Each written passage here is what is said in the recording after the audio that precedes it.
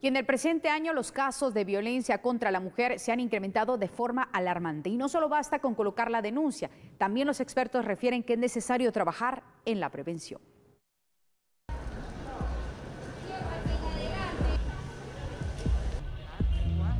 Enero de este año sorprendió a varios por el incremento en hechos violentos contra las mujeres, sobre todo las niñas.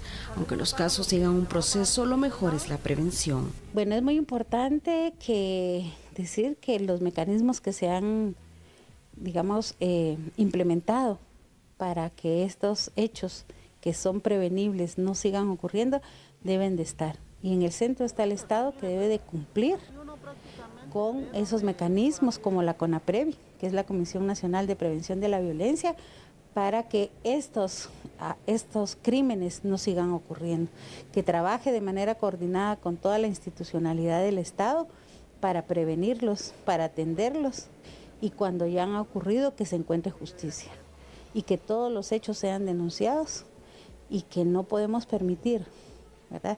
Como como ciudadanas, como, como mujeres tenemos y como sociedad una responsabilidad y todas cuando vemos algunos hechos de violencia debemos de convertirnos en esas redes de apoyo para eh, brindar eh, protección integral y seguridad a las mujeres y sobre todo a las niñas y a los niños que están en riesgo.